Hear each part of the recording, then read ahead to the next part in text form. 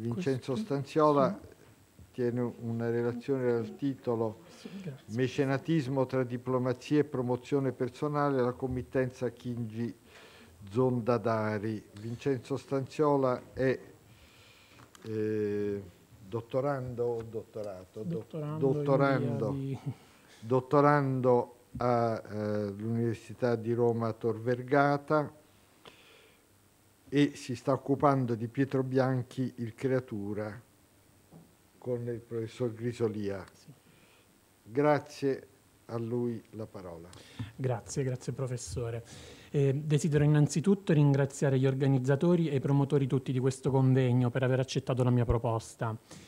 Per la relazione eh, ho indicato volutamente un titolo generico. Le problematiche legate all'attività mecenatizia di Antonio Felice Chigi Zondadari sono infatti tante e tali che qualsiasi tentativo di maggiore specificazione mi sembrava limitante. Tuttavia ho ritenuto opportuno concentrarmi in questa sede soprattutto sulla serie di dipinti con episodi della vita dei principali esponenti di Casa Chigi e del ramo Zondadari, alla cui valenza politica si è sempre fatto riferimento, senza tuttavia indagarla nel dettaglio. Questo convegno mi sembrava pertanto eh, l'occasione perfetta per farlo. Eh, Antonio Felice, eh, figlio di Anzano, di Ansano Zondadari e di Agnese Chigi, diede vita insieme ai fratelli Bonaventura, marchese di San Quirico, Marcantonio, ehm, Gran Maestro dell'Ordine di Malta, e Alessandro, arcivescovo di Siena, al casato Chigi Zondadari, acquisendo il cognome materno e legandosi in tal modo ai più illustri esponenti della sua famiglia, Papa Alessandro VII e lo zio, il cardinale Flavio Chigi. Divisi tra la galleria eh, nazionale d'arte antica di Palazzo Barberini e il Minneapolis Institute of Arts si conservano nove dipinti appartenenti alla cosiddetta serie Zondadari, raffiguranti i più importanti episodi della vita del cardinale, dei suoi fratelli Marcantonio e Alessandro e dei suoi più celebri avi, i già menzionati Alessandro VII e il cardinale Flavio. Eh, questi dipinti furono realizzati da alcuni tra i maggiori pittori attivi a Roma nel terzo decennio del Settecento, quali Pietro Bianchi, Sebastiano Conca, Placido Costanzi e Giovanni Odazzi, a cui si aggiungeva il senese, conterraneo degli Zondadari, Giuseppe Nicola Nasini. La critica, per la funzione palesemente celebrativa del ciclo, ha sempre letto tale commissione in rapporto alle aspirazioni di Antonio Felice a farsi eleggere a capo della Chiesa di Roma. Che il committente dei dipinti sia stato proprio il cardinale non ci sono dubbi. Um, questi di fatti è il vero protagonista del ciclo, con ben cinque tele a lui dedicate, raffiguranti tutte episodi legati alla sua annunziatura apostolica a Madrid, svolta tra il 1702 e il 1709 nel pieno della guerra di successione spagnola. Forse così riesco.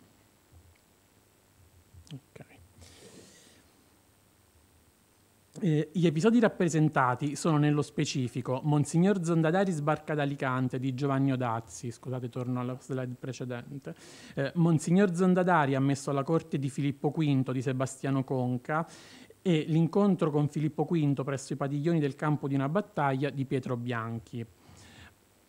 Poi Monsignor Zondadari che benedice eh, la popolazione spagnola e Monsignor Zondadari si licenzia dagli ufficiali spagnoli, entrambi di Placido Costanzi.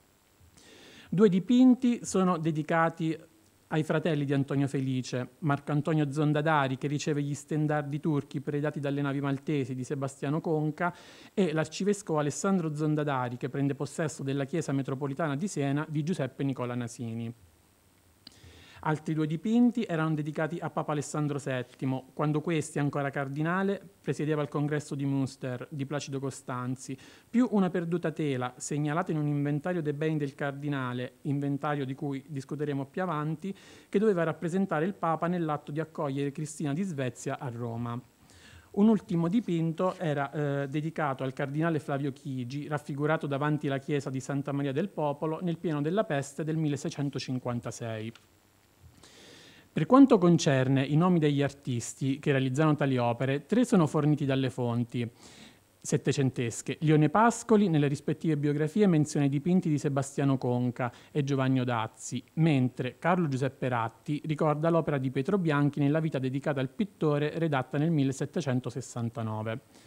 Placido Costanzi è l'unico eh, che firma e data le sue opere, 1727 le due a Palazzo Barberini, 1728 la tela a Minneapolis mentre l'analisi stilistica ha consentito di restituire a Giuseppe Nicola Nasini eh, la tela dedicata all'arcivescovo Alessandro, un'attribuzione avanzata per prima da Stella Rudolph negli anni 70, confermata poi da Ciampolini nel 92 e recentemente da Alessandro Bagnoli tramite comunicazione scritta che ringrazio.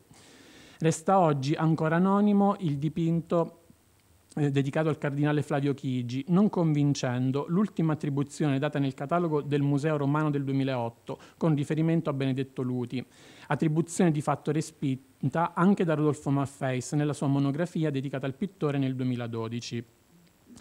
La datazione delle telezondadari consente di collocare definitivamente l'intera commissione al biennio 1727-28, periodo in cui il cardinale finanziò pure la decorazione ad affresco della volta di San Gregorio al Celio, chiesa dell'ordine camaldolese, di cui lo Zondadari era protettore. I pagamenti a Costanzi si conservano presso l'archivio storico dell'ordine a Camaldoli.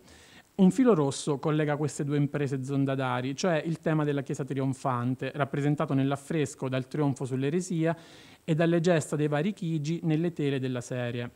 La volontà del cardinale di presentarsi quale difensore della Chiesa e soprattutto dei suoi interessi trova conferma quando si vanno ad, ad, analizzare le vicende che lo riguardarono in prima persona nel corso del conclave del 1730 e che qui converrà analizzare brevemente. Come osserva Zanelli nella sua ricostruzione documentaria del 1890, cito, il conclave, cominciato il 3 marzo e finito il 12 luglio, fu quello nel quale, più di ogni altra cosa, furono in gioco l'astuzia e l'intrigo, le bizze e gli interessi dei cardinali e delle potenze. Fine citazione. Tante tali erano infatti le fazioni in cui i cardinali erano divisi e talmente grandi gli interessi delle potenze europee da rendere estremamente difficoltosa qualsiasi previsione.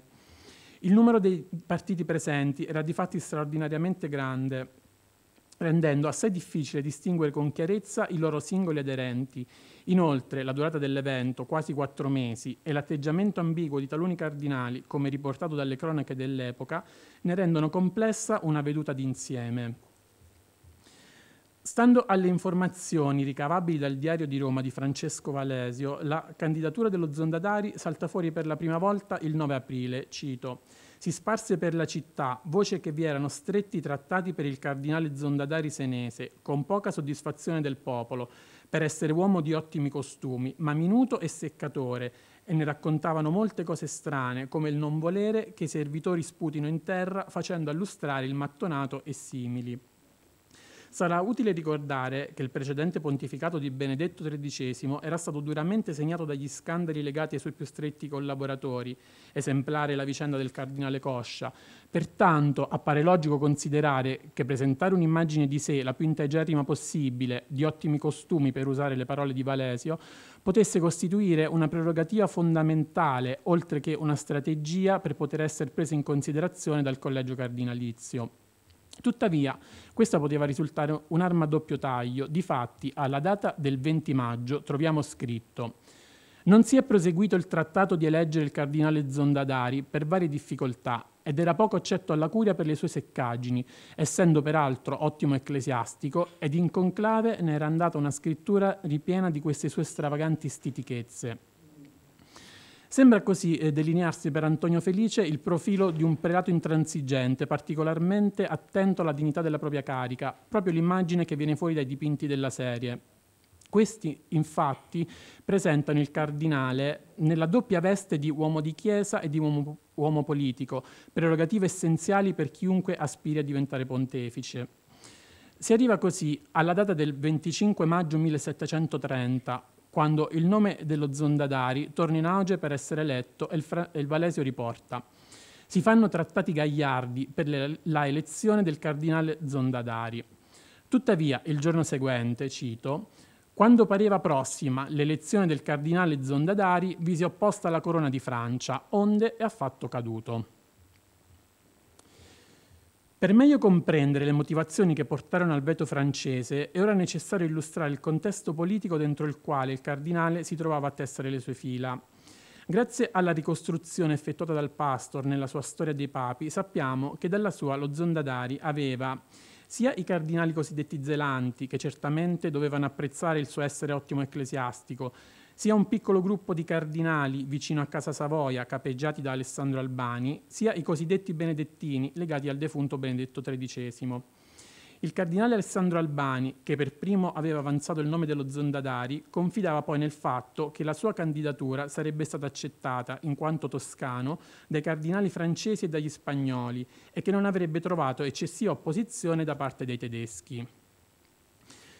Disattendendo le aspettative del cardinale Albani, come si è visto, i francesi affossarono invece la sua candidatura.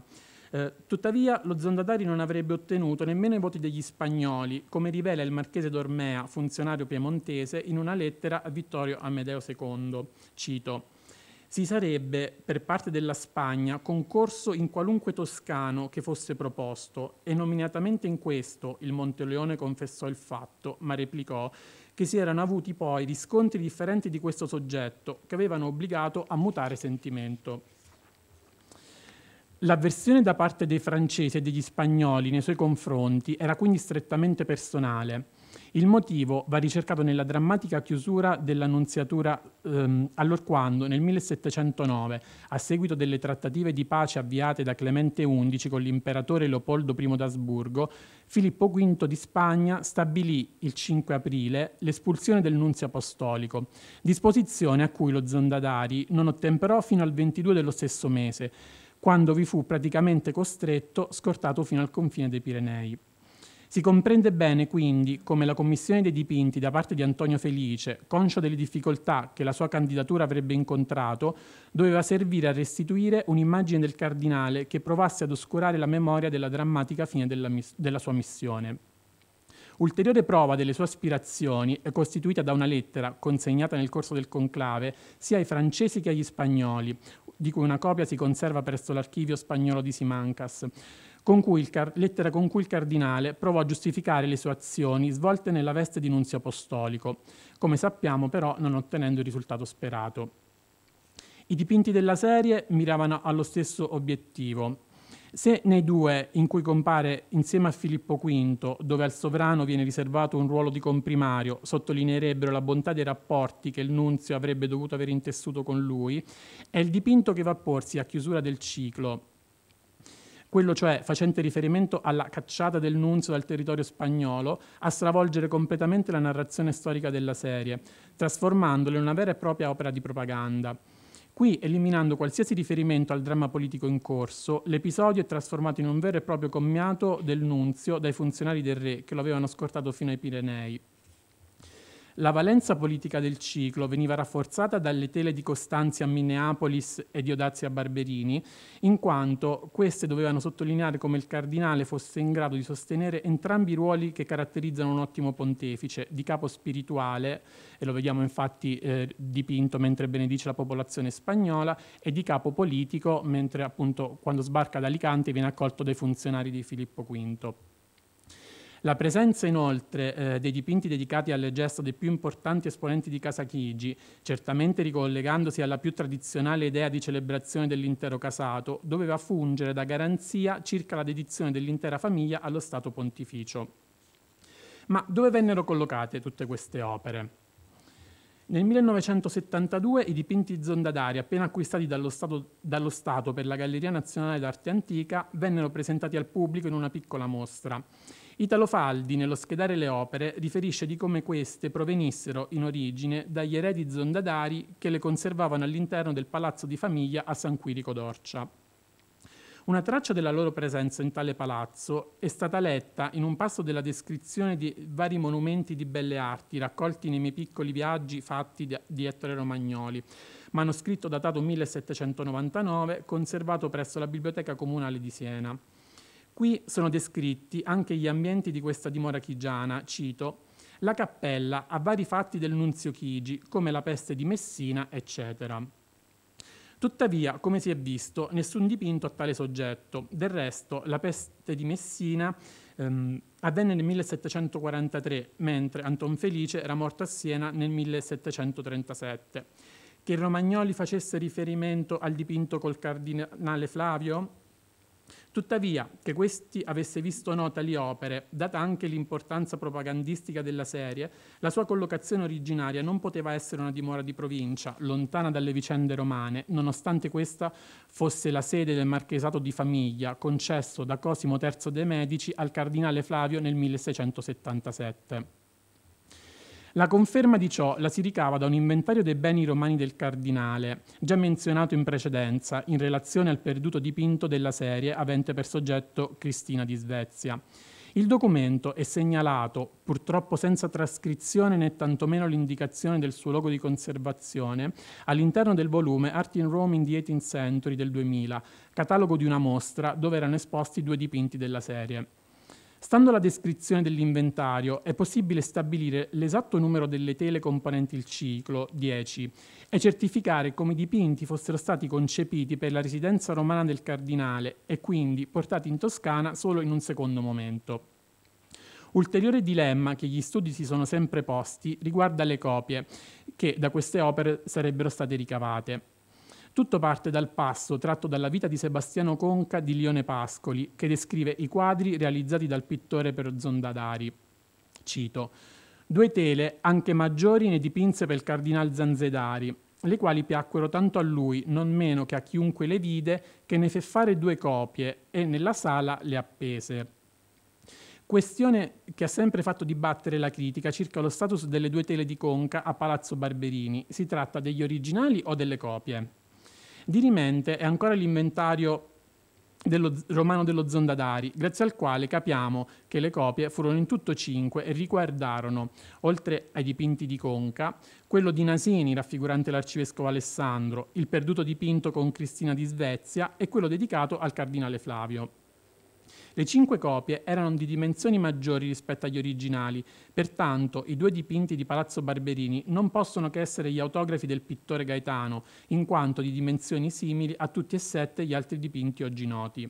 Inoltre, il minore valore economico dati a queste copie, 35 scudi contro i 50 degli originali più piccoli, lascia intendere che la loro esecuzione fu affidata ad altri pittori.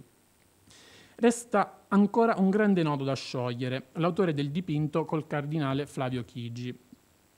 Questo, in occasione della citata mostra del 1972, veniva presentato come anonimo romano nella scheda dedicata al dipinto, Italo Faldi rilevava come, cito, la qualità delle parti in figura è tutt'altro che scarsa, mentre lo studio del bel nudo accademico dell'appestato riverso, la compostezza dei moti e il ritegno negli affetti inducono a collocare il dipinto in quell'area di cultura neocarraccesca e preclassicistica che a Roma, all'epoca di esecuzione della serie dei dipinti Chigi Zondadari, ebbe i suoi maggiori esponenti in Aureliano Milani e in Marco Benefial. Sulla scia di Faldi, nel 1994, Steffi Rothgen ha avanzato per questo dipinto il nome di Filippo Evangelisti, collaboratore di Benefial. Nel citato volume Art in Rome in the 18th Century viene invece riferito a Luigi Garzi, mentre, come detto in apertura di intervento, nel catalogo dei dipinti di Palazzo Barberini la tela è schedata come opera di Benedetto Luti. Tanto il riferimento a Luti quanto quello a Garzi, per quanto stilisticamente poco sostenibili, ma pur comprensibili per taluni aspetti che ora vedremo, trovano un ostacolo insormontabile nella datazione del ciclo agli anni 1727-28. Entrambi questi pittori erano di fatti già morti da diverso tempo, nel 24 Luti e addirittura nel 21 Garzi. La tela effettivamente presenta dei contatti con lo stile di entrambi i maestri, i modi di Garzi sono ricordati soprattutto dalle fisionomie dei personaggi, caratterizzati da profili aguzzi e dalla pennellata asciutta. Di contro, però, lo stile del dipinto rivela un'intenzione naturalistica, già rilevata da Faldi, del tutto estranea all'opera dell'allievo di Sacchi. Questa intenzione appare evidente in modo particolare nelle anatomie dei nudi, che sottintendono un preliminare studio del modello in posa e nei volti del cardinale del suo seguito, considerabili dei veri e propri ritratti in piccolo. Similmente, alcuni dettagli compositivi ed esecutivi lasciano comprendere come si possa essere giunti a proporre il nome di Luti. In particolare, il gruppo in primo piano con il monaco benedicente e la donna morente si rivela essere un chiaro riferimento al San Carlo Borromeo che amministra l'estremonzione agli appestati di Luti del 1713. Alcuni dettagli della tela um, con il cardinale Flavio Chigi rivelano come il suo pittore conoscesse molto da vicino l'opera del fiorentino. Mi riferisco al gruppo dei monatti posto, posti sopra il carrettino sul fondo, dove il disegno e la stesura pittorica risultano fortemente debitrici di modelli luteschi, come si può notare dal confronto con i dettagli del citato dipinto di Luti e con un'altra sua tela ehm, conservata nei depositi di Palazzo Barberini raffigurante la pazzia di Saul tenuto anche conto del fatto che già due allievi eh, di Luti, Pietro Bianchi e Placido Costanzi, sono coinvolti nella realizzazione delle tele zondadari, ritengo che anche l'autore di questo dipinto debba essere ricercato all'interno della bottega romana del Fiorentino. Il, nome, ehm, il, profilo su cui credo si debba convergere è quello di Giovanni Antonio Grecolini, nato nel 1075 e già allievo di Giovanni Battista Lenardi. Dopo la morte del maestro, eh, nei primi anni del Settecento allievo inizia a collaborare con Benedetto Luti. A discapito di un'attività grafica ben studiata, soprattutto da Catherine Loisel, la produzione pittorica risulta ancora non molto nota, se si escludono pochi punti fermi, come le tele per il battistero di San Lorenzo e Lucina o l'affresco realizzato nella Basilica di San Clemente. Come si può evincere dal confronto tra le tele del battistero, le pitture realizzate per la chiesa di San Francesco di Paola e il dipinto Chigi Zondadari, non può non rilevarsi un'evidente consonanza stilistica. Analogo è il modo di concepire i volumi, i chiaroscuri, fisionomie e panneggi, così come simile si presenta la stesura pittorica, realizzata mediante pen- delle pennellate compatte, forse anche un po' piatte. Grecolini, inoltre, essendo stato eh, uno degli artisti coinvolti nella realizzazione dei ritratti disegnati per le vite di Nicola Pio del 1724 era avvezzo anche a tale genere. Confrontando alcuni di questi disegni conservati al Museo Nazionale di Stoccolma con i ritratti del cardinale Flavio, del suo corteo e con i volti di altri personaggi nella tela Zondadari, si ha un ulteriore indizio a supporto dell'attribuzione di quest'ultima all'allievo di Luti. Non si tratterebbe inoltre nemmeno dell'unica tela che è stata attribuita sia a Grecolini o a Gazzi, come il caso di questa adorazione dei pastori che si conserva oggi a Ponza nella chiesa di Santa Trinita, ma che viene dalla demolita chiesa dei Santi Venanzio Anzuino. Ehm, concludendo, eh, l'indicazione del Grecolini ehm, per la tela con il cardinale Flavio e la contestualizzazione dell'intera serie nelle dinamiche della diplomazia pontificia costituiscono un ulteriore tassello nello studio degli interessi artistici di Antonio Felice Zondadari e della sua famiglia, diffusi tra le città di Roma, Siena e San Quirico d'Orcia.